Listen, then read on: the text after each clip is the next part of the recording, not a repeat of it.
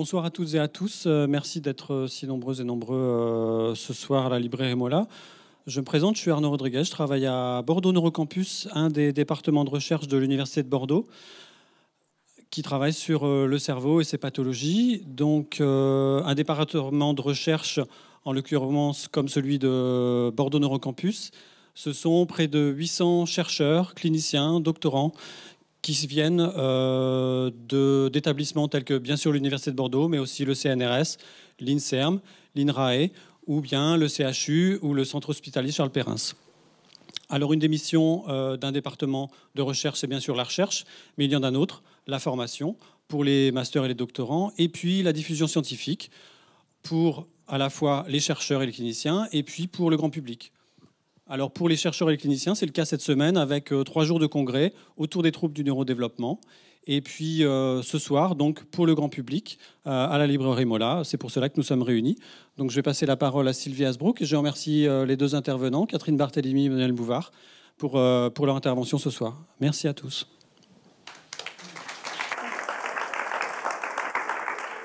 Merci, bonsoir. Bonsoir Emmanuel Bouvard, bonsoir Catherine Barthélémy. Alors Emmanuel Bouvard, vous aviez très envie de faire les présentations, je vous laisse faire. Merci beaucoup Sylvie. Alors j'avais surtout envie d'accueillir Catherine Barthélémy parce que c'est au-delà du, euh, de l'amitié qui nous unit depuis longtemps, c'est une chance de, l'accueillir aujourd'hui à, Bordeaux. Euh, euh, je pense que tout le monde la connaît, mais c'est vrai que c'est toujours avec émotion que je la présente parce que d'abord, Catherine, j'ai eu la chance qu'elle m'ait formée quand j'étais jeune médecin. J'ai eu avec son maître Gilbert, Gilbert Lelore et elle-même la chance d'être formée par l'équipe de Tours, qui est une équipe euh, euh, très clairement, bien évidemment, à la pointe, et toujours à la pointe avec Frédéric Bonnet-Briou maintenant, euh, dans le champ de l'autisme notamment, mais aussi dans le champ du neurodéveloppement. Catherine est maintenant professeure honoraire à l'Université de Tours. elle a exercé de nombreuses fonctions, dont celle de directrice d'une équipe INSERM qui était une équipe très, très avant-gardiste puisque c'est une équipe qui réunissait des cliniciens, euh, dont, elle-même, mais euh, des chercheurs, et qui faisait le pont entre neurosciences et recherche. Et c'est un peu l'esprit de ce congrès, et l'esprit qu'on voudrait vous donner aujourd'hui, c'est que la recherche, la clinique et les usagers, on en reparlera, c'est indispensable. Voilà, elle a, je termine juste parce que je, sinon je vais prendre tout le temps et je vous vois un peu inquiète.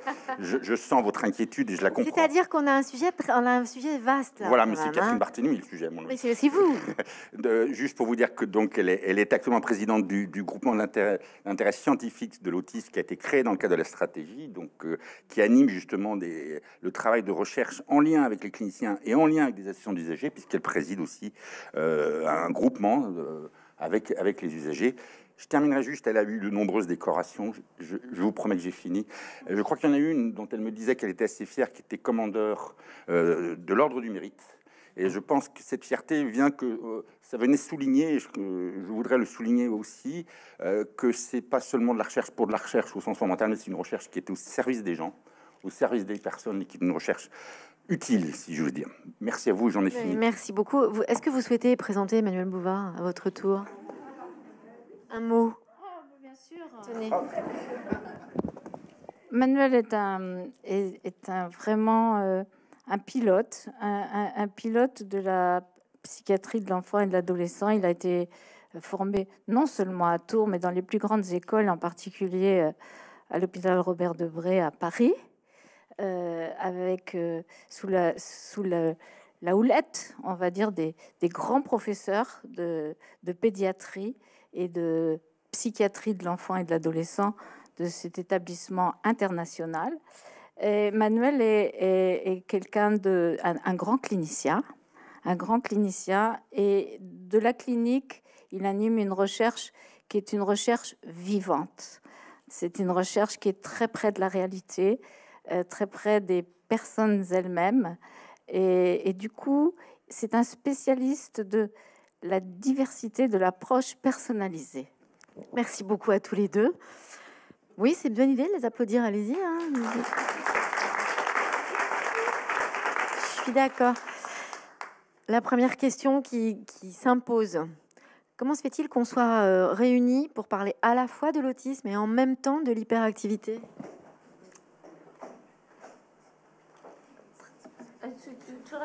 Je vais commencer, Catherine, hein, mais euh, je vais commencer à enlever le rideau. c'est alors d'abord, il faut bien mesurer qu'aujourd'hui, les, concepts ont beaucoup évolué. Souvenez-vous qu'il y a 30 ans, l'autisme, c'était la mer, et dans une région maritime, on s'intéresse beaucoup à la mer. Le, le TDAH, c'était l'éducation. Les troubles des apprentissages, c'était l'école. Hein. On, avait des schémas simples, et les parents savent à quel point ils étaient renvoyés à ces schémas simples. Votre enfant est autiste euh, parce que vous n'avez pas donné ce qu'il fallait. Votre enfant est agité parce que vous ne savez pas l'éduquer. Votre enfant ne sait pas lire parce que c'est soit la méthode globale ou et donc, on a beaucoup évolué depuis. On a évolué avec des troubles qui sont différents, mais qui partagent des choses. Et c'est ça qui nous réunit aujourd'hui. C'est pour ça qu'on parle de troubles du développement. C'est que ces troubles-là partagent le fait que ce sont des fonctions développementales, des compétences développementales qui vont être touchées. C'est-à-dire des choses qui apparaissent ordinairement au cours du développement chez tous les enfants. Et c'est ces compétences-là, comme la marche, comme le langage, mais aussi comme l'interaction sociale, la capacité d'identifier euh, un être humain, comme la capacité à se réguler, euh, et on voit que ces fonctions, elles sont des fonctions qui apparaissent ordinairement, qui vont être altérées pour des raisons qu'on reprendra, et probablement là, bien sûr, que les aspects des réseaux jouent dessus, et vont entraîner d'abord des problématiques très précocement dans la vie, et c'est la question du début précoce de, ces troubles, et puis surtout vont rester tout, au long de la vie. Donc bien sûr, ce sont des troubles différents qui vont se différencier, mais ce sont des pathologies qui partagent ensemble euh, ce handicap, et c'est pour ça d'ailleurs elles sont maintenant reconnues dans le champ du handicap et plus dans le champ des troubles psychiatriques, euh, pour reconnaître l'impact qu'elles ont au moment euh, très tôt dans la vie et puis tout au long de la vie au cours des apprentissages. Alors, on sait aussi qu'il y a des traits en fait reconnaissables entre guillemets dont vous avez fait partie pour les souligner, les mettre en avant et pour pour permettre, par exemple, de diagnostiquer assez vite même un bébé sur l'orientation du regard euh, et donc avancer rapidement. Et en même temps, vous soulignez tous les deux dans vos travaux qu'il y a des signes distinctifs qui sont plus discrets qu'on ne reconnaît pas, comme par exemple la comorbidité ou euh, euh, la démotivation ou la, dépression aussi. ils ont aussi ça en commun, Catherine Barthélémy? Je vous redonne votre micro. C'est le vôtre. Oui. ce qui est important, c'est que au cours de, la grossesse, euh, au moment de la naissance et dans les premières années de la vie, euh, le, cerveau se, développe, s'organise, se, câble, se connecte, et que euh, si ces, connexions, si ces câblages se connectent différemment, on aboutit à des, des, des gènes sur le plan fonctionnel, enfin des, des handicaps sur le plan fonctionnel qui ont, des points communs, mais aussi beaucoup de différences. Et ça crée de la vulnérabilité. Ce qui, est très important aussi, c'est que qu'on ait des troubles de l'attention ou un autisme, on, reste vulnérable. Et d'autant, on est d'autant vulnérable. Donc on peut se décourager, trouver que l'environnement est dur, faire des dépressions, avoir euh, la, se sentir coupable, euh, être, euh, on, peut dire, découragé par les autres et développer une certaine euh, agressivité, vous voyez, un, certain découragement. Voilà, et, donc ces comorbidités, elles sont importantes à connaître parce que le trouble de l'enfant ou de l'adolescent ou de l'adulte ne se résume pas à une étiquette, mais un fonctionnement général qui comprend aussi ces dimensions. Et alors en France, on en est où? Puisque, euh, euh, comme vous avez souligné, en 2016, vous avez fait une intervention un peu musclée pour essayer de réveiller la France qui aurait tendance, par exemple, à mettre à l'écart les enfants plutôt que à, soutenir la mixité à l'école. Euh, alors on en est où? D'un point de vue international, à la fois dans la recherche et en même temps dans l'accompagnement de ces maladies-là? On a beaucoup progressé. Ces, dernières années, il est vrai que la France avait du retard. On avait des conceptions euh, complètement anachroniques par rapport à, nos voisins d'Europe même.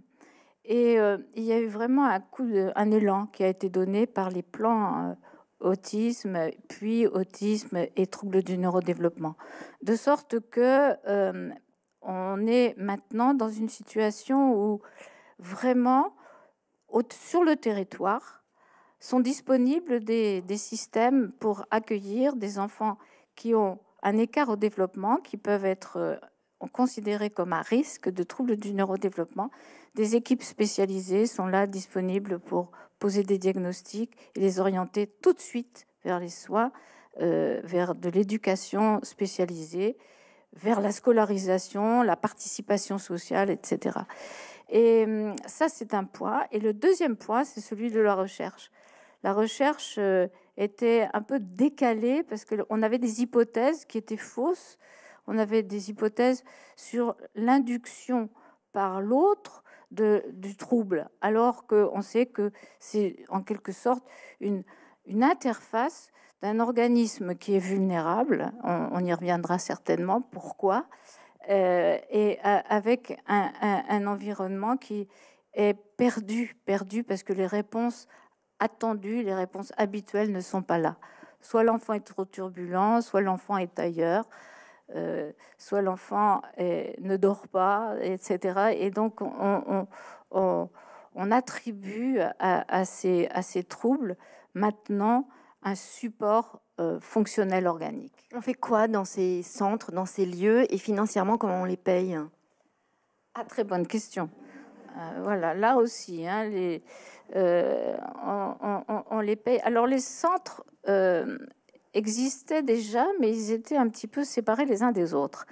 Il y avait des établissements publics, des, hôpitaux, avec des files actives de, des consultations.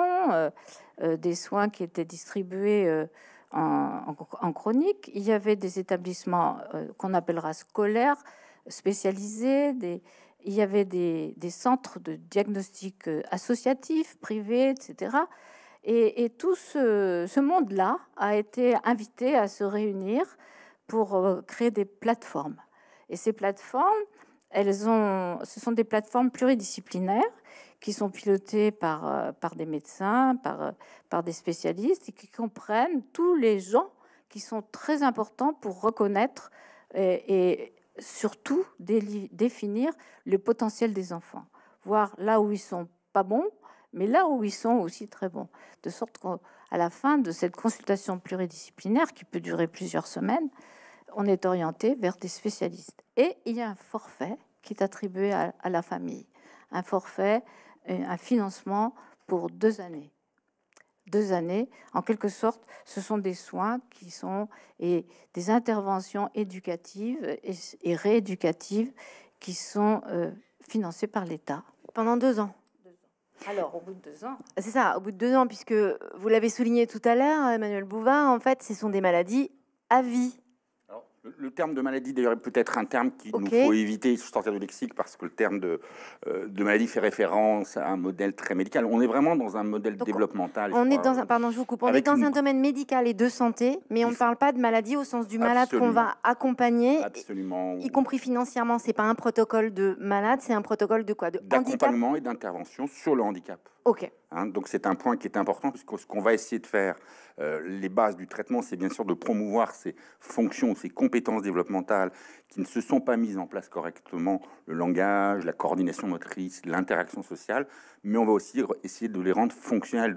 L'objectif, c'est que le jeune, avec son autisme, avec son TDAH, avec son, sa dyspraxie, avec ses problèmes d'orthographe, va pu, pouvoir continuer à fonctionner de façon harmonieuse et se développer. C'est ça notre enjeu. Donc vous voyez que cette notion, elle, enlève un peu cette idée qu'on va tout, nettoyer. Il faut l'accompagner pour le rendre fonctionnel et harmonieux.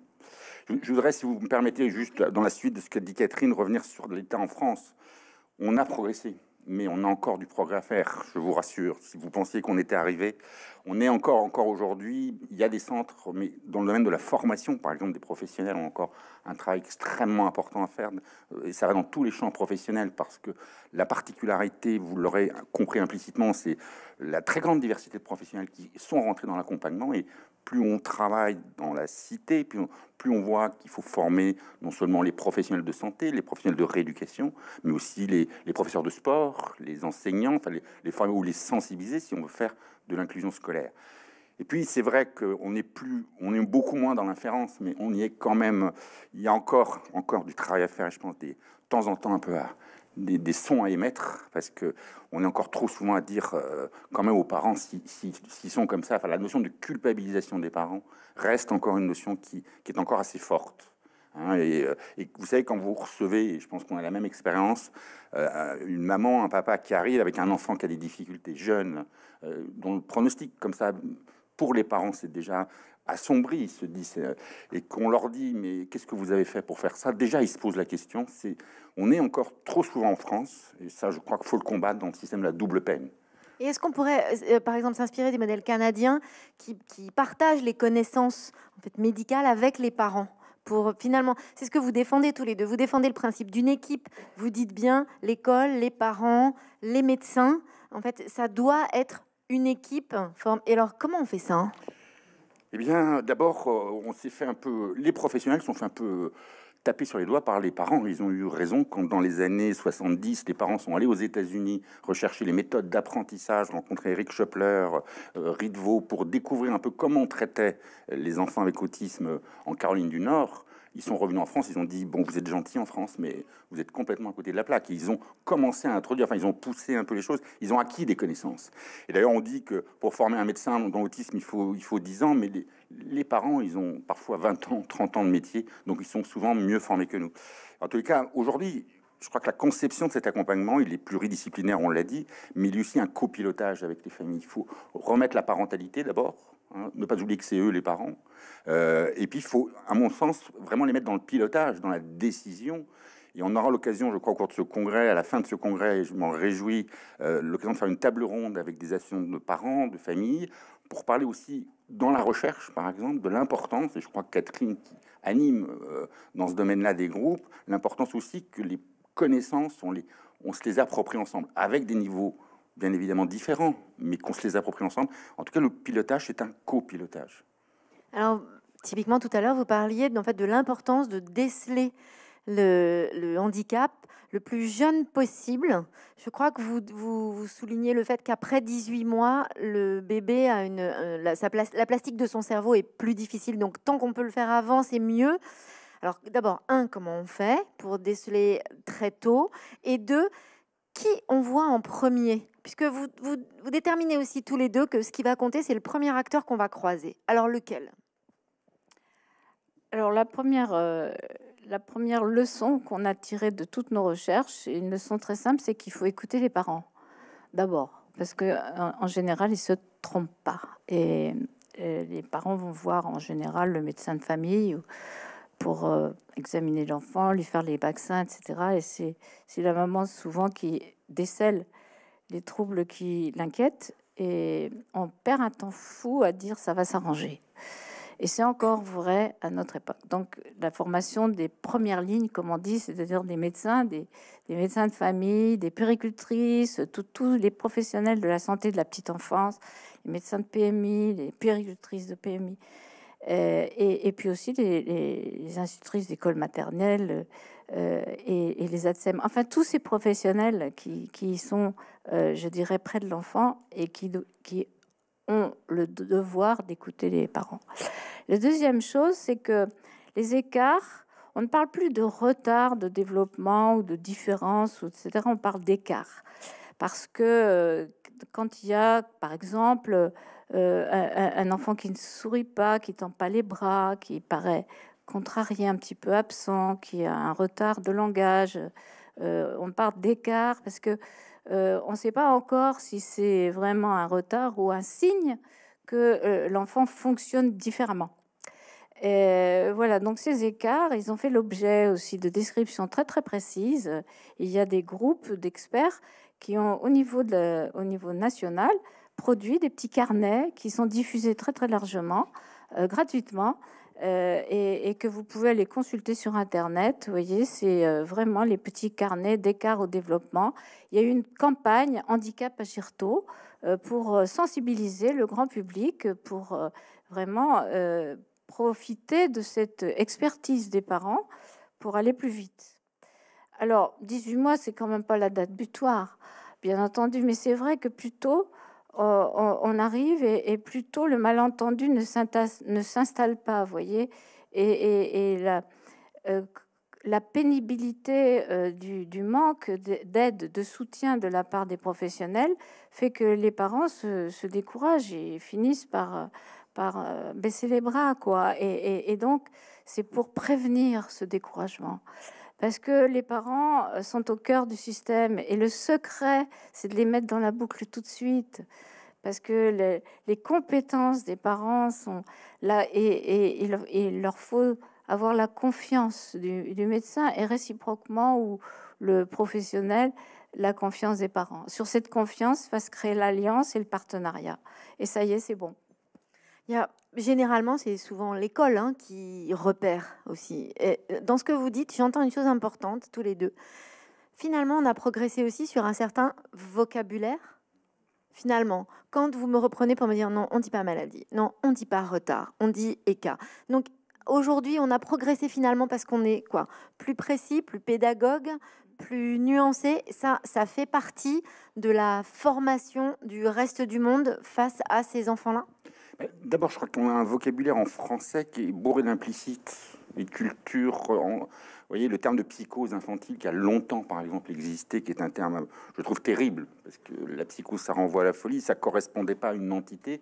Euh, on a été plus précis, je pense, d'abord plus aussi calé sur les connaissances scientifiques internationales, la notion de trouble du développement est venue prendre sa place et la notion de handicap est venue prendre sa place, pas seulement parce qu'on l'a décidé sur un plan lexical ou linguistique, mais parce que ça correspondait à une réalité de nos connaissances des cohortes que nous suivions, des, travaux qui avaient été développés. Donc c'est vrai que ce, ce vocabulaire, il a aujourd'hui commence à émerger un vocabulaire d'abord qui est commun, enfin, avec nos collègues allemands, anglais, italiens qui sont avec nous aujourd'hui. Euh, c'est-à-dire qu'on arrive à avoir le même langage, parce que si on veut progresser, il faut qu'on ait les mêmes mots, en tout cas derrière ces mots-là, les mêmes sens. Et je crois que c'est un point important. Et puis les parents aussi sont venus dire, euh, nous la psychose, on veut plus en entendre parler, les disharmonies, on ne sait pas ce que ça veut dire, euh, l'enfant agité, on ne sait pas ce que ça veut dire, parce que aujourd'hui nos connaissances, elles permettent d'affiner. Et vous savez, les mots, ils évoluent comme la langue.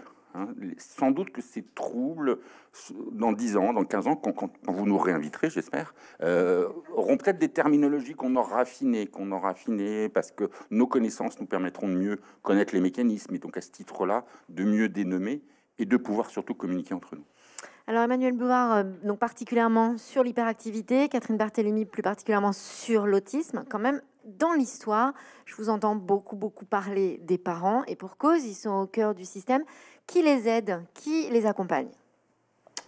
Euh, c'est une bonne question. Ça, doit être. Alors, il y, a une chose qui s'est beaucoup développée euh, dans les récentes dernières années, alors qui était déjà développée il y a 20 ans en Amérique du Nord, c'est les groupes de parents, je pense au groupe Barclay par exemple, aux, stratégies de groupe, ce qu'on appelle maintenant l'éducation thérapeutique.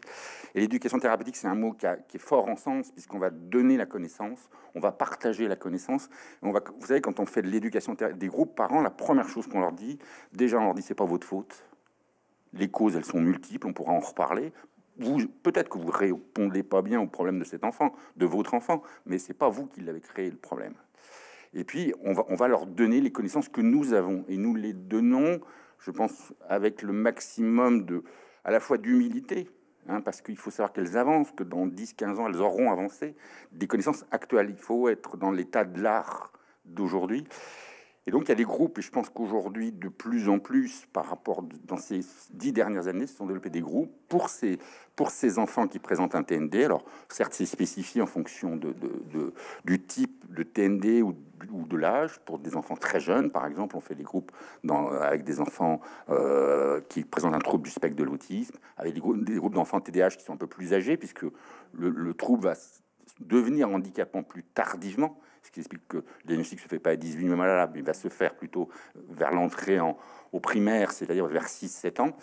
Et, c'est de mettre très vite les parents à la fois d'entendre aussi leur souffrance. Hein. il ne s'agit pas de dire euh, c'est facile, hein, hein, et puis on va travailler ensemble, c'est chouette. On est, c'est aussi d'entendre, d'être capable d'entendre la souffrance, mais de ne pas interpréter la souffrance comme la cause du problème comme souvent ça a été fait, euh, de mettre en place des groupes, de leur donner les informations, de leur dire voilà ce qu'on va faire, voilà ce qu'on connaît, euh, voilà ce qu'on fera, si, euh, voilà, la stratégie qu'on va utiliser. Si ça marche pas, voilà, on va essayer de faire un plan avec eux, les faire participer, et puis être capable effectivement de les accompagner, d'écouter leurs craintes, d'écouter leurs leurs croyances parfois, leurs peurs, d'être là aussi.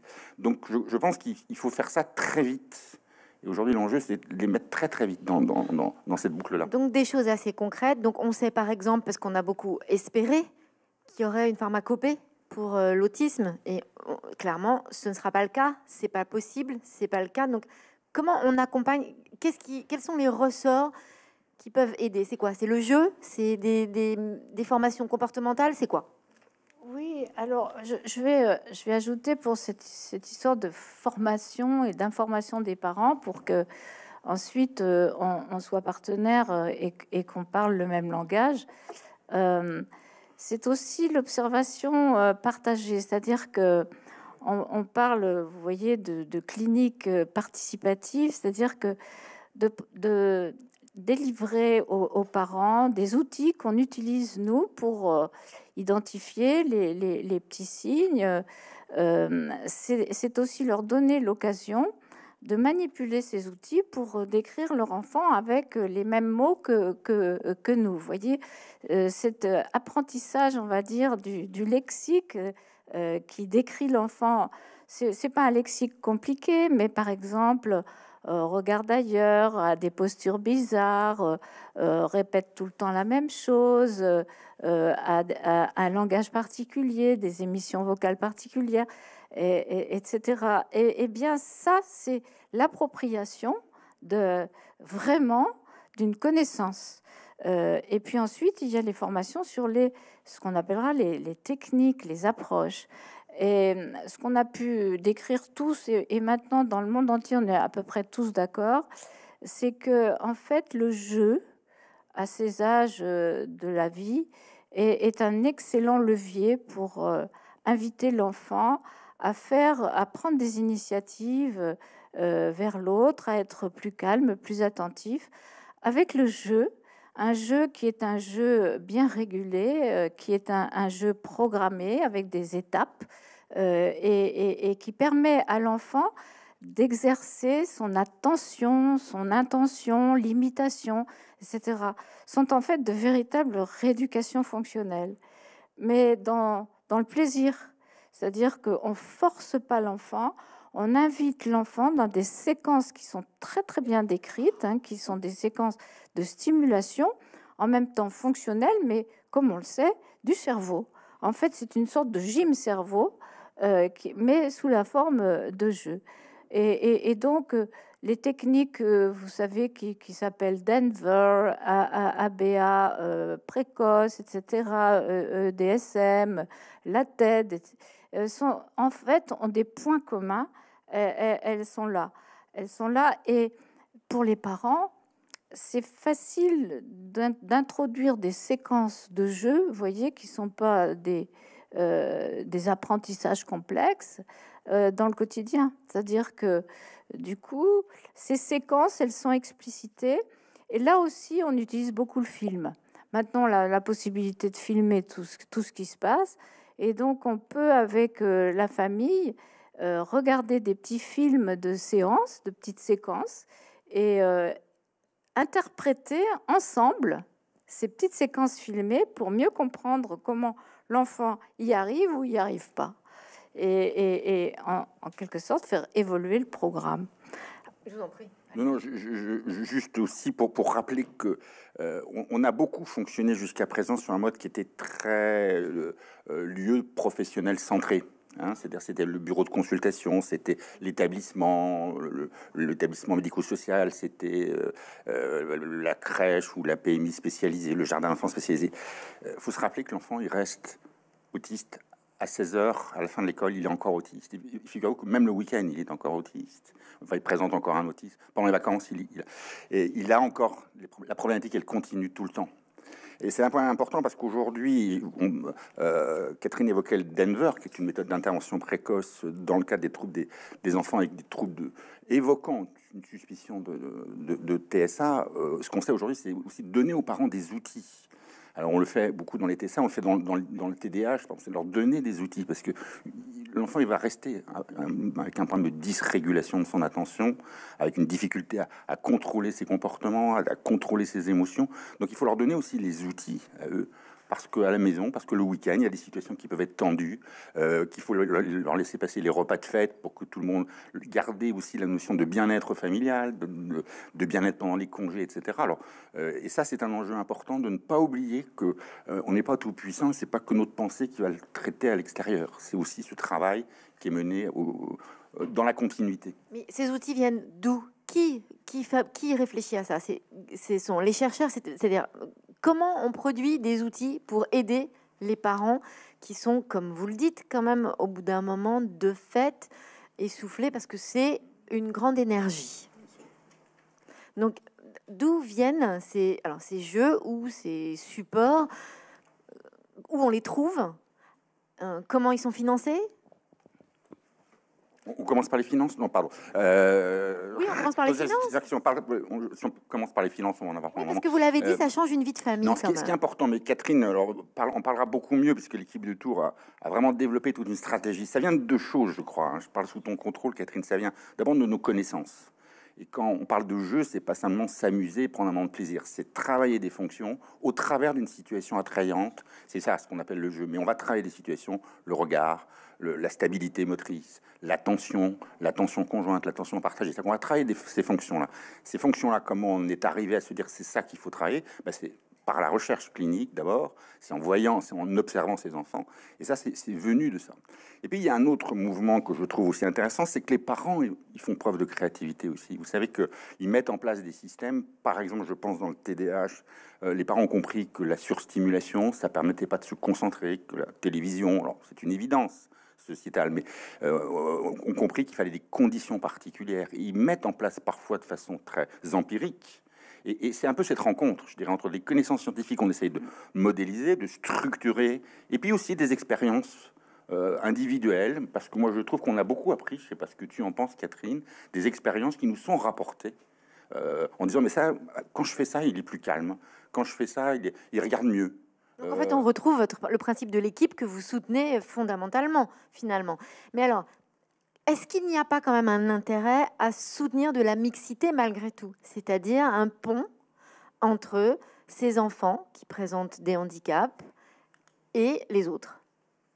Ah, sur ces, mêmes, ça fait partie, hein, ça fait partie de la panoplie euh, des, des, des, instruments, des outils, comme on dit. C'est-à-dire que euh, l'école, c'est l'école d'abord, c'est et, on va commencer par la crèche hein, et puis ensuite l'école maternelle. C'est un lieu où, les, enfants sont ensemble et se s'examinent et, et, s'imitent. Euh, et, c'est très important que euh, l'école soit accueillante, la crèche soit accueillante, parce que je dirais, même avec un trouble de l'attention, avec euh, un, trouble de, des interactions sociales, il y a vraiment une puissance de la collectivité comme modèle. Et, vraiment, c'est une chance pour ces enfants, dans des bonnes conditions, de partager avec, les autres des jeux et, des savoirs. Euh, voilà. Mais il faut que les conditions y soient. C'est-à-dire que l'environnement soit préparé. Euh, parce qu'on a, on a parlé des petites séquences de jeux, d'entraînement, de, l'attention, l'intention, l'imitation, l'association, qui sont des fonctions énormes qui, qui permettent à, l'enfant de se, de se contrôler et, et, de découvrir et d'apprendre.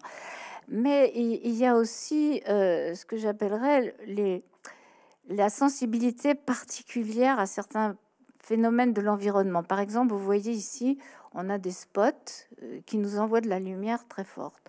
Donc, euh, nous, bon, on a une capacité au niveau de notre système nerveux de, baisser la, lumière dans notre cerveau.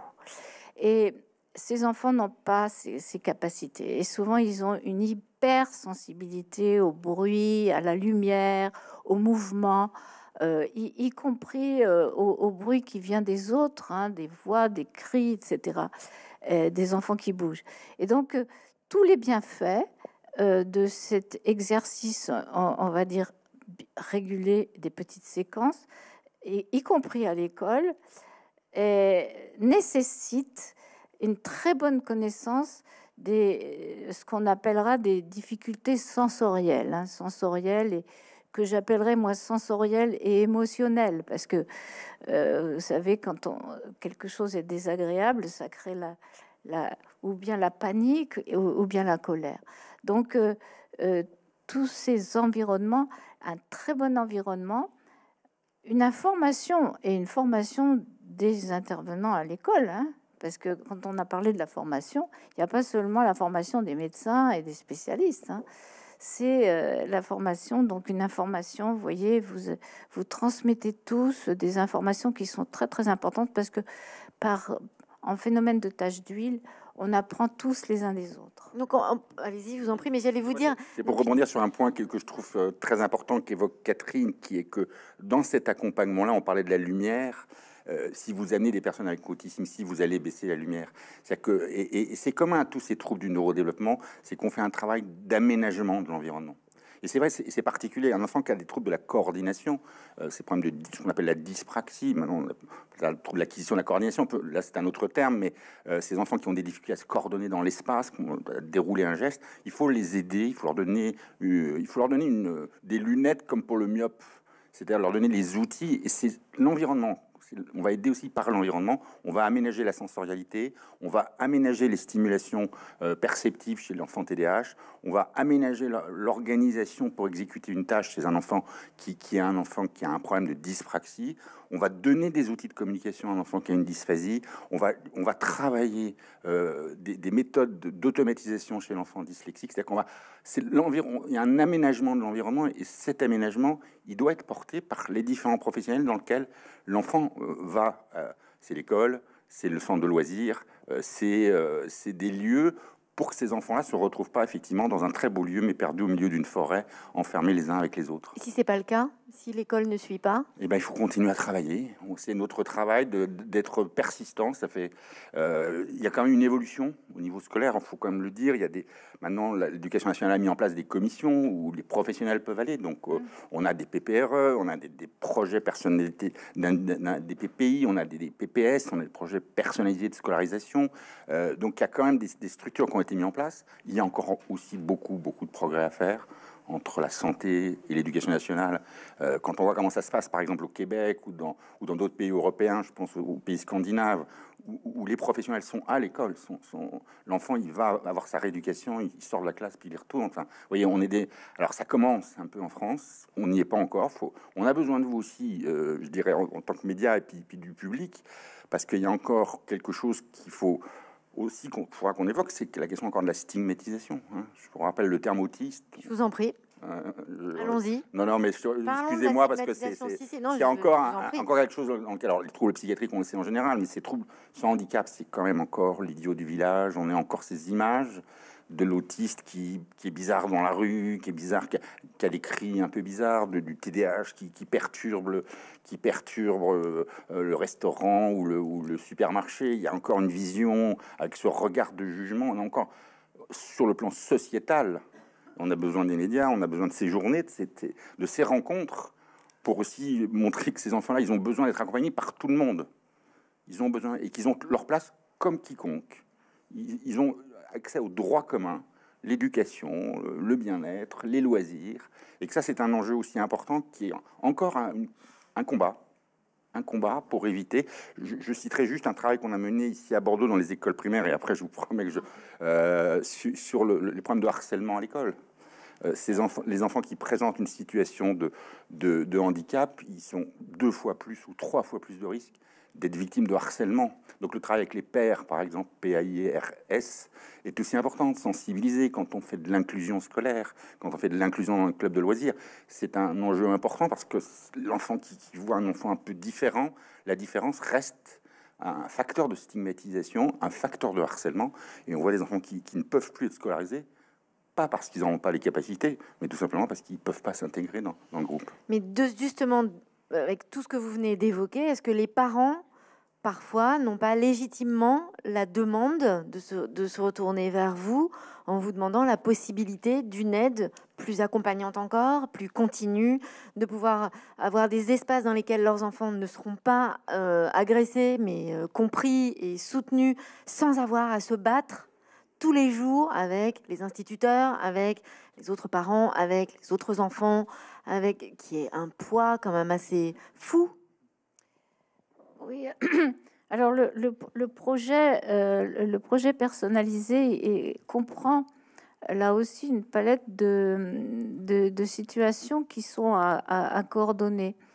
Euh, le temps plein à, l'école, en particulier quand on commence l'école maternelle, c'est pas possible. On va choisir avec, euh, avec l'enseignant les moments où ça va être plus propice pour exprimer ses, son potentiel, hein, parce que on voit toujours ce qui va pas, mais il faut savoir que, les enfants euh, qui ont euh, un trouble du neurodéveloppement ont, surtout un potentiel à, développer, à mettre en œuvre. On va trouver les conditions, les temps pédagogiques euh, où, l'enfant sera le plus à l'aise pour exprimer ses, ses, compétences. Et puis, il aura le soutien de quelqu'un pendant ces temps euh, d'une personne qui est un, auxiliaire, on va dire, de, l'enfant pour réussir à, être avec les autres et à faire comme, comme les autres au bon moment. Voilà, c'est ça. En sachant aussi que, l'enseignant formé, euh, et, là c'est un, enjeu, hein, c'est un, comment dire, un, défi, hein, c'est la formation euh, des enseignants des écoles à tout le, dans tout le cursus. Euh, l'enseignant va tenir compte aussi du fait que on va pas faire, on va pas mettre la musique trop fort, on va pas faire de la musique trop vite. Vous voyez, c'est euh, euh, tout, ça, et que il y a un projet, un projet dans lequel l'enseignant est partenaire. Et puis il y aura des temps individuels où il va être, où, l'exercice précisément des fonctions va être un petit peu plus intensif, un peu plus soutenu, sur des séances qui vont durer une demi-heure, 20 minutes. Euh, et, puis, euh, là aussi, c'est très important, les loisirs, les activités de loisirs dans, la société, faire du sport, tout, tout, ce qu'on appellera vraiment la vie avec les autres, mais dans des conditions qui sont favorables. Parce que si on ne crée pas les conditions, c'est l'échec et on a l'impression que, que, l'enfant ne sait pas se contrôler, ne veut pas se contrôler, qu'il est turbulent. C'est pas qu'il ne veut, qu'il ne, qui ne, c'est pas qu'il ne veut pas, c'est qu'il ne peut pas hein, se contrôler de temps en temps, parce que il, a des réactions et qu'il se voit au niveau du cerveau. Quand on fait des enregistrements, vous voyez, avec des lumières, on s'aperçoit que un enfant par exemple de 6-7 ans, est capable, vous voyez, de, de, quelque part d'apaiser son cerveau, même quand il a une stimulation très forte. Et, les enfants qui ont un trouble du neurodéveloppement, c'est vrai chez, les enfants euh, avec hyperactivité comme chez les autistes, il y a vraiment un orage. Ça, diffuse et ça crée une espèce de, migraine, quoi. Donc, euh, euh, on, on, comprend, on comprend qu'ils ils ont des troubles du comportement, ils se bouchent les oreilles, ils se bouchent les yeux, ils veulent pas.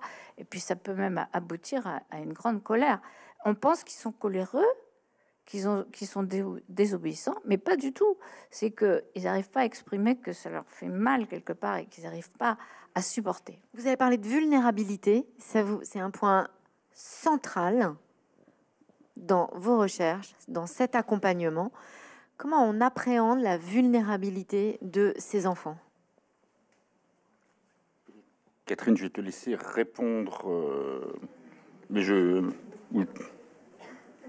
Alors, quelque part, vous voyez, on, a pensé que, que, que, ces enfants étaient des, des, des, malades, et des malades mentaux. Et hum, on s'est rendu compte que ça n'était pas le cas. Euh, ça n'était ni une psychose, ni une démence. Euh, ni un trouble majeur euh, du comportement. C'était vraiment une difficulté à se développer et à, pouvoir s'adapter et à s'adapter à l'environnement. Parce qu'on n'a pas parlé non plus de la prévisibilité. Vous voyez, la régularité, le calme, la prévisibilité de ce qui va se passer après, etc. Ça fait partie de la, vie tranquille, quoi. On est tous comme ça. On préfère un peu savoir ce qui va se passer tout à l'heure.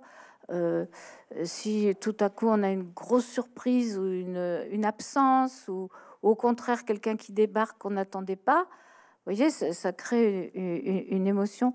Et, plutôt que de pathologie, on, parle de vulnérabilité à des facteurs d'environnement. Finalement, euh, c'est une difficulté à s'ajuster, euh, à, réguler. Euh, mon, patron avait trouvé une expression qu'on n'utilise plus du tout, mais il faudrait la ressortir. Il disait c'est une insuffisance modulatrice, de modulation cérébrale. Et, la modulation, c'est ce qui nous permet en même temps d'augmenter et, de diminuer euh, à l'intérieur de notre corps les émotions, les sensations, euh, euh, la, vous voyez, le, la force du mouvement. Eh bien, ces, ces enfants ont en commun cette, ce qu'on appellera cette difficulté à moduler. Et cette difficulté à moduler, elle crée la vulnérabilité, c'est-à-dire que l'environnement devient peut, euh, hostile, agressif. Euh, peut-être aussi pour, dire que dans l'évolution euh, importante, de, là aussi, on voit que on a l'impression que ça bouge pas, mais il y a quand même des choses qui ont bougé. On était dans des modèles très explicatifs. On a, on a connu la psychologie, on a connu la biologie, on a connu la génétique. Hein, L'autisme, c'était. On sait aujourd'hui qu'on n'est plus dans ces modèles-là. Qu'il y a sûrement des facteurs de vulnérabilité génétique on a des arguments aujourd'hui pour penser qu'on n'est pas tous égaux euh, face aux maladies, face aux troubles et face à ces, aux, TND euh, et à ces handicaps, bien évidemment. Donc il y a sûrement des facteurs, mais c'est la rencontre de ces facteurs-là avec des facteurs de l'environnement qui va jouer, qui va jouer, qui va déclencher ou qui va parfois ne pas déclencher le processus, ou qui va le contrôler, ou qui va le compenser, parce que la notion de compensation, et je crois que ce qui est aussi important aujourd'hui, c'est qu'on ne connaît pas la cause de ces, de ces troubles, on sait, on sait qu'ils probablement ils sont multiples, on est sorti d'une causalité univoque, et, ça c'est un point important, c'est ni un facteur social extérieur, ni c'est la rencontre entre un cerveau qui se développe pas bien pour des raisons là aussi multiples, et puis d'un environnement euh, qui là aussi va, va, va jouer. va jouer. Quand on parle de l'environnement, on pense pas qu'à la mer. On peut aussi penser à des produits auxquels l'enfant est exposé, par exemple pendant la grossesse. On peut penser à, des facteurs physiques, euh, voilà, des, à des facteurs traumatiques, à des facteurs anoxiques, à des choses qui sont pas seulement des facteurs relationnels. Il n'y a pas le gène et la relation. Il y a tout un ensemble de processus qui vont interagir pour... Euh, y compris des facteurs environnementaux? Bien sûr. Bien sûr, bien sûr, on sait que on sait que dans ce domaine-là, il y a des facteurs. Alors, un certain nombre d'expositions à des produits, on va pas tous les citer aujourd'hui, quand même questionner. Alors, il nous reste à démontrer. Hein, il faut dans ce domaine-là faire attention à pas aller de, la conviction à, l'assertion. Hein, il faut démontrer. C'est pas facile de montrer que l'exposition aux phéromones, euh, au, au, bisphénol, à des produits comme ça ou aux pesticides euh, provoque directement. Euh, par contre, on, on, essaie à travers des modèles animaux euh, mais aussi à travers des modèles plus épidémiologiques, de regarder comment se constituent ces liens et surtout quelle place tiennent cette exposition par rapport à d'autres facteurs qui peuvent être, par exemple, des facteurs de vulnérabilité génétique, qui peuvent être des facteurs de croissance in utero. Donc, euh, donc je crois qu'il faut rester prudent, mais très clairement, il y a des facteurs environnementaux qui jouent, euh, qui, jouent dans, ce développement, dans cette rencontre. Ce qui fait un sujet, c'est la rencontre de son être biologique et de son environnement. Est-ce qu'aujourd'hui, euh, il y aurait un cadre particulier? Alors, on imagine bien un cadre de stabilité, certes, qui va, qui va favoriser finalement une sorte d'épanouissement, une forme d'épanouissement. Est-ce qu'il est question aussi peut-être d'une opposition entre la ville et la campagne?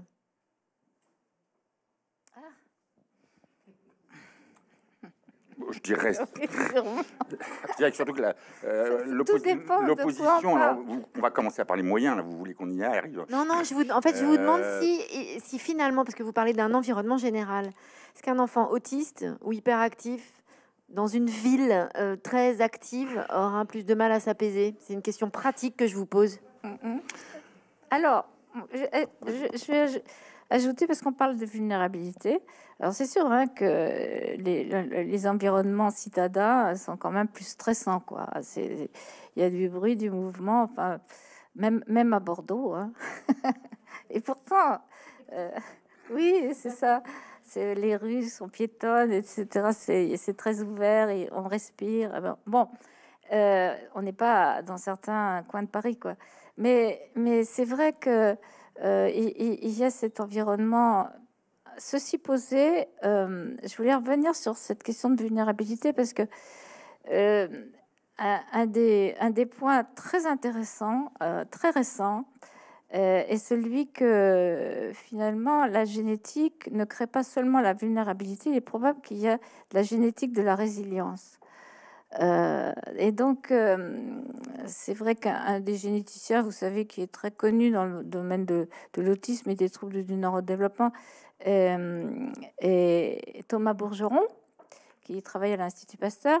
Et, Thomas, il, s'intéresse au fait que avec un même, on va dire, un même environnement génétique central, on va dire, probablement il y a des gènes qui créent plus la vulnérabilité. Il y a une sorte de cocktail qui est différent avec des ingrédients centraux. Il y a, le cocktail peut être plus vers la vulnérabilité ou plus vers la résilience. C'est-à-dire qu'il y a des enfants qui ont le même génome, la même famille, etc. Et puis l'évolution ne va pas être la même chez, même des, jumeaux. Quoi. Vous voyez? Donc euh, il y a ces... ces euh, ces nouvelles questions. Alors la campagne, ben, la campagne, c'est bien, mais il y a des pesticides. Vous voyez, donc euh, euh, voilà. On n'est pas bien avancé là. Ben non, non, on n'est pas avancé. Finalement. Peut-être aussi, il faut revenir sur l'accès aux soins, enfin l'inégalité catastrophique en France sur l'accès aux soins. Hein, quand vous habitez à, 50 km de Bordeaux, alors ça c'est plus excitant. Bordeaux, il y a plus de bruit, mais il y a plus de médecins, il y a plus d'orthophonistes, il y a plus de psychologues, il y a plus de. C'est-à-dire quand même les. Il y a un vrai problème quand même. Euh, alors c'est sûr que c'est peut-être pas mal, hein, mais non, ce que je veux dire, c'est quand même, c'est aujourd'hui, avant d'arriver à des questions qui sont importantes, on y reviendra parce que l'expérience du Covid a été intéressante, j'ai trouvé sur sur le plan de, ce que ça produit quand on modifie complètement l'environnement social. La période du confinement a été intéressante, mais euh, je pense que c'est l'accès aux soins, c'est l'accès aux, spécialistes, c'est l'accès aux structures, et c'est l'accès à. Vous parlez de formation des écoles, euh, euh, le nombre. Bon, il y a des Ulysses qui sont des classes d'intégration un peu spécialisées. Vous voyez ce que je veux dire? Et c'est vrai que quand on arrive en milieu en milieu rural, malheureusement tout ça tout ça se perd. Si vous allez en Dordogne, qui est magnifique qui est un endroit absolument magnifique, mais le nombre de médecins, le nombre de la, désertification des professionnels est quand même un, gros problème quand on s'éloigne des villes. Et un mot sur le Covid? Ou l'après-Covid peut-être? Alors on pourra parler de l'après-Covid. Moi, ce qui m'a frappé, je ne sais pas, Catherine, si tu as les mêmes observations, on s'attendait à une explosion pendant la période de confinement. C'est le moment vraiment, là, on va parler de la période de confinement, on s'attendait à une explosion de ces troubles. On s'est dit, les, les personnes avec autisme vont pas s'en sortir, les TDAH. Et oui, on parle plus d'hyperactivité, on parle de TDAH parce que on met le trouble de l'attention dedans, vont exploser. Euh, le confinement, alors il y a une augmentation des violences familiales, on le sait, il y a une augmentation de l'utilisation des jeux vidéo, il y a des observations maintenant qui sont relativement, il faudra garder. Mais ce qui a été frappant, moi ce qui m'a frappé, c'est qu'il y a une baisse du bruit social, et ça, ça a plutôt apaisé ces enfants-là. Il y avait, il y a une baisse du, de la performance chez l'enfant TDAH, ça les a plutôt apaisés. C'est-à-dire que paradoxalement, qu'on s'attendait que le confinement, l'absence de sortie ou, le minimum de sortie, la disparition des activités sportives allait les mettre dans une espèce d'état, mais il y a eu en même temps une baisse. Bon, la scolarité a été baissée, il y a eu moins d'exigences, moins de performance, moins de stress. Il y a quand même une diminution du stress euh, qui a eu un effet. Alors pas chez tout le monde, ça serait trop bien, sinon on confinerait, on continuerait, mais... Euh, mais, euh, un petit peu de Dordogne est arrivé dans les grandes villes. Alors, ceci étant dit, c'est aussi dans les projets qui existent aujourd'hui, c'est, vous savez, les, fameuses classes vertes qu'on a connues il y a fort longtemps, c'est-à-dire l'idée de mettre les enfants dans des environnements apaisants, de temps en temps de les hyposensorialiser, hein, de les mettre, que, euh, reste aujourd'hui reprendre une actualité c'est fait dans, les pays asiatiques, par exemple, en Corée, où ils font des, classes où ils mettent ces enfants-là dans des, milieux apaisants. Alors, ils ont ce sens-là aussi. Et je pense qu'il y a une réflexion aussi à mener sur le rôle, un rôle thérapeutique de l'environnement. Oui, alors, Covid, Covid nous a appris beaucoup de choses aussi. C'est que on a été obligé de développer des pratiques autres c'est-à-dire que comme on ne pouvait pas se rendre à domicile, vous voyez, pour tout ce qui était les interventions à domicile pour les tout petits en particulier, eh bien, euh, on a utilisé les visios, les, petits téléphones, les tablettes, euh, pour communiquer et pour euh, organiser les petites séances à, domicile. donc, les professionnels étaient en lien direct. Sans finalement troubler la, vie familiale parce qu'ils n'étaient pas physiquement. Et du coup, il y a eu aussi une, relation qui s'est établie avec les, parents, avec les proches, les frères et sœurs, sur un autre mode avec les intervenants. Euh, et ça, a modifié, alors ça n'a pas été complètement étudié, mais je, pense que cet euh, accès à, ce qu'on appellera le domicile, l'intimité de la famille, le fonctionnement, euh, à travers les écrans, a, été plus, euh, plus respectueux parce qu'on on prenait rendez-vous. Euh, vous voyez, il y avait un début, une fin. Et c'est quelque chose que, que, j'ai pu voir pour, pour d'autres enfants très petits, des prématurés qui naissent avec des troubles moteurs, des troubles visuels. en particulier, et, qu'il est important de rééduquer tout de suite voilà, et, il y a déjà y a des équipes qui ont, euh, qui ont utilisé ces systèmes de visio, de ce qu'on appellera de télé, euh, téléconsultation, télé-intervention. Euh, et franchement, c'est un plus. Il y a des choses à, en fait, qu'on, a apprises. On a apprises. Oui.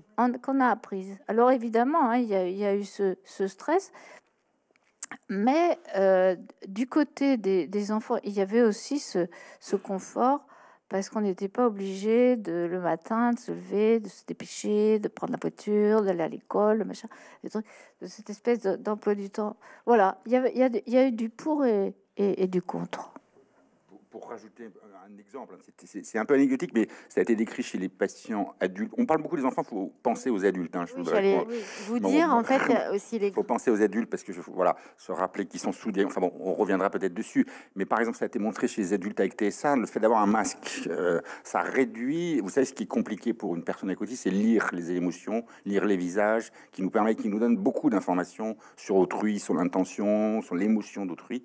Et bien la réduction de ce bruit social qui est la motricité d'un visage qui est réduite de moitié par le masque, c'est plus apaisant qu'inquiétant. Et, ça a été relativement bien toléré. Alors, encore une fois, c'est anecdotique, il faudrait le démontrer, ce que je vous dis. Hein. Mais, mais, mais en tous les cas, euh, paradoxalement, on a pu observer ça. Alors après, il y a, eu les inconvénients du Covid. Justement, depuis tout à l'heure, on a beaucoup parlé hein, des, des, des avancées qui ont été faites pour les enfants. Est-ce qu'elles sont au même niveau pour les adultes qui vivent avec ces handicaps aujourd'hui Ou est-ce que justement c'est le, bah, parent pauvre, comme vous venez de le dire finalement? Est-ce qu'on l'oublie parce qu'on ne parle que des enfants, parce que les projecteurs sont mis sur l'enfance, y compris la recherche, y compris l'accompagnement, y compris les protocoles d'accompagnement au quotidien, y compris les financements? Je, vais peut-être commencer, mais... Euh, euh, je vais vous donner un exemple. On a commencé à travailler, nous, sur notre centre de référence sur le TDAH et puis sur, l'autisme il y a plus de, 15, de 15 ans à Bordeaux. Et inévitablement, on s'est rendu compte qu'il fallait voir les adultes. Parce qu'inévitablement, on sait que ces troubles ils continuent tout au long de la vie.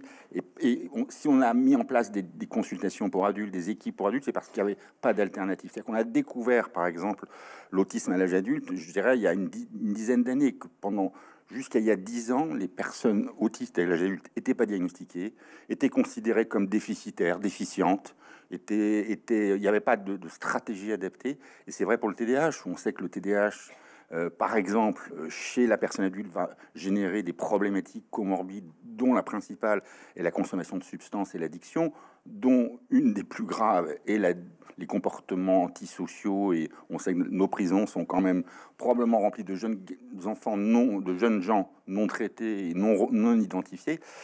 Et donc aujourd'hui, oui, c'est plus que le parent pauvre. Il y a vraiment un effort, et je pense que dans la stratégie, on l'a vu aujourd'hui, il, y a eu une prise de conscience aujourd'hui et qui existe, je crois, dans la recherche euh, pour aller euh, d'abord diagnostiquer. Hein. Quand on regarde les chiffres, on se dit c'est pas possible qu'il y, ait moins d'adultes autistes que d'enfants autistes, avec autisme, pardon, euh, alors qu'il devrait y en avoir plus. Hein.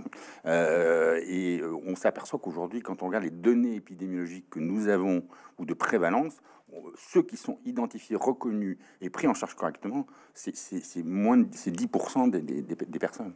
Et ça, c'est vrai dans, dans, tous les troubles du neurodéveloppement. C'est-à-dire, c'est vrai dans le TDAH. Je, pense aussi aux, aux, aux, aux, dyspraxiques, à ceux qui ont des troubles moins, qui touchent moins la relation, etc., mais qui ont des troubles exécutifs, etc., qui vont être dévalorisés sur le plan professionnel, qui, qui se retrouvent à des niveaux plus faibles, au niveau, euh, qui vont moins bien mener leurs études, qui n'auront pas été accompagnés. Donc, c'est vrai dans tous ces troubles du neurodéveloppement. Donc, dans les points forts à venir, il y a cette question-là? L'adulte, absolument.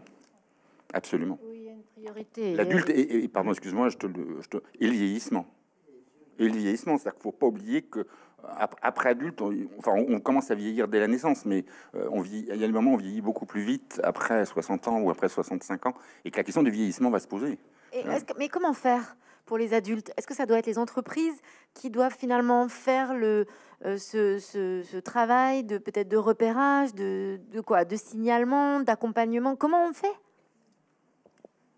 Ah, c'est un, vrai chantier, hein, parce que euh, on, a commencé, euh, je, pense, hein, à, vraiment se doter d'outils déjà pour repérer ces, ces, personnes qui sont pour beaucoup euh, dans des établissements spécialisés et qui étaient confondus avec d'autres personnes euh, qui avaient tout simplement une, déficience intellectuelle ou, des maladies, euh, des maladies génétiques, etc. Et, donc, ils ne bénéficiaient pas de la prise en compte de leur spécificité pour, avoir une vie au moins confortable, hein, parce que on, leur imposait des choses qui sont supportables pour d'autres personnes adultes et, pas pour des personnes adultes avec autisme, ça ou, ou, ou troubles de l'attention.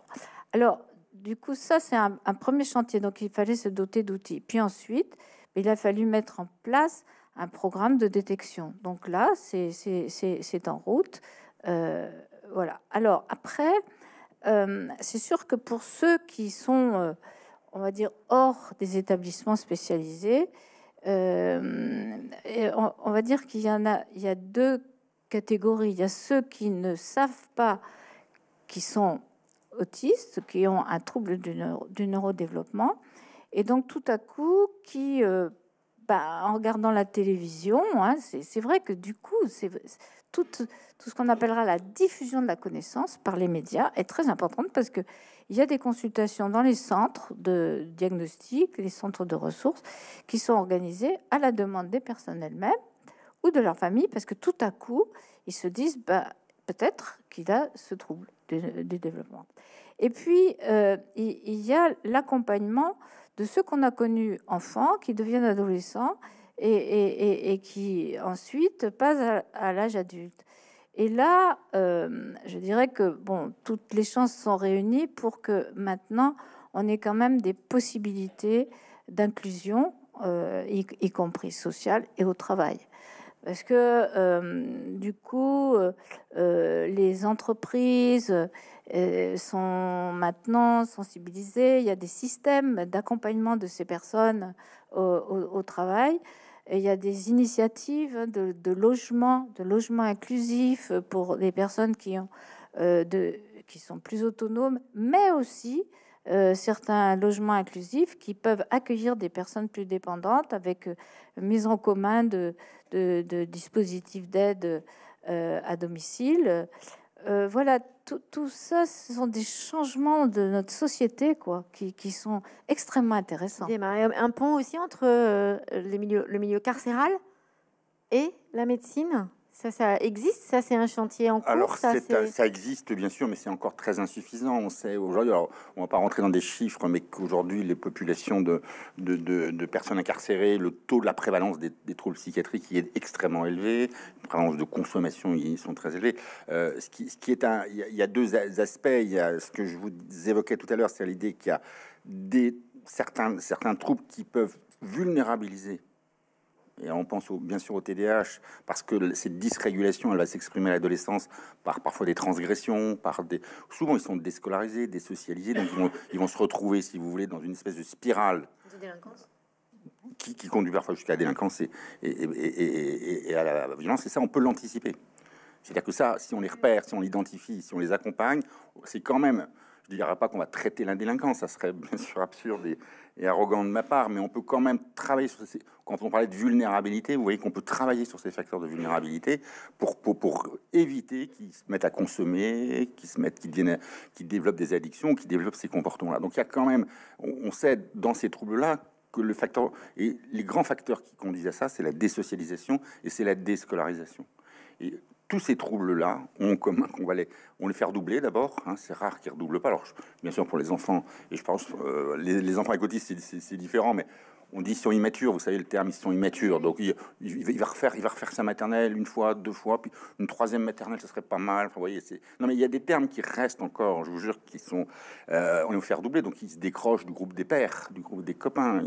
Et puis, bien évidemment, la deuxième année sert pas à grand chose et que les apprentissages restent entravés sans qu'on s'en soit occupé, donc qui vont être orientés sur le plan scolaire vers, des, vers des, des, formations courtes, et puis parfois au bout d'un moment ils lâchent parce que euh, quand l'école les accompagne pas, ils, sont dans un milieu hostile quand même. Si l'école les accompagne pas, ce qui est quand même, je tiens à le dire, heureusement de moins en moins le cas. Il y a quand même un effort qui est fait quand même du côté de l'éducation nationale qu'il faut qu'il faut souligner. Et, donc c'est des facteurs de. C'est rattrapable? Tout est rattrapable. Tout est rattrapable, mais plus plus euh, la personne a vécu l'expérience négative, plus c'est lourd, plus c'est difficile. On est un peu débordé, hein, mais parce qu'on a plein de choses à dire. Le mot de la fin, est-ce qu'on a oublié quelque chose pour euh, ce point ce soir, bien qu'on essaye d'être exhaustif en une heure seulement, alors qu'il en faudrait dix? Euh, Emmanuel Bouvard, Catherine Barthélémy, est-ce qu'il y a une chose qu'on n'a pas évoquée, que vous aviez envie de souligner ce soir? Hum, je, pense que ce qui est très important, c'est de de, développer euh, de la recherche, qui soit une recherche qui soit centrée sur, euh, sur la personne. voyez, euh, comprendre ces personnes, essayer de mieux connaître leur fonctionnement,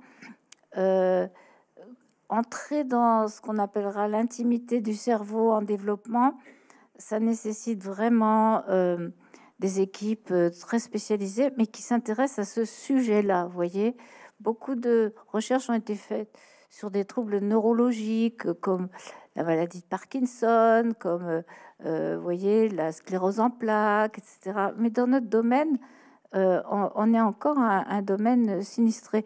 Et je dis ça parce que dans, la salle il, se trouve mon, associé pour la, coordination du groupe national euh, qui, coordonne la, recherche pluridisciplinaire sur les troubles du neurodéveloppement.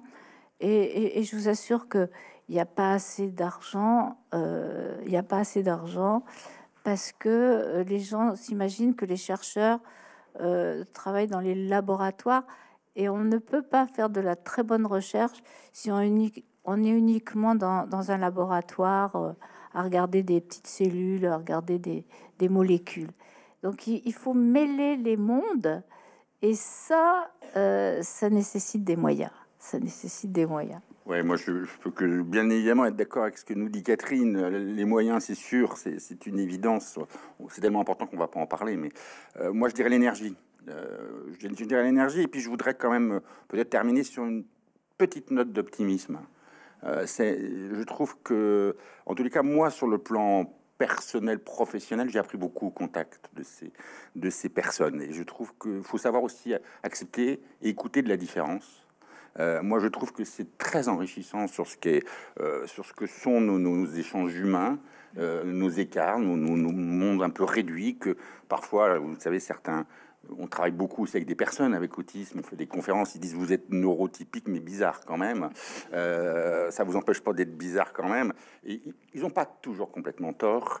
Euh, ce que je dis en tout cas au-delà de ces, aspects parfois euh, qui peuvent être un peu théâtraux, mais on apprend beaucoup de la différence et on apprend beaucoup avec ses enfants on apprend beaucoup avec ces adolescents, on apprend beaucoup avec ces adultes, et on enrichit aussi. Et, je voudrais quand même aussi dire que les choses ont avancé. C'est vrai qu'on a pointé, on pointe les difficultés. Les choses avancent, les, esprits évoluent, et qu'il faut garder cette idée que c'est un combat quand même. C'est une énergie extrêmement importante, mais qu'il faut jamais baisser les bras. Merci beaucoup à tous les deux.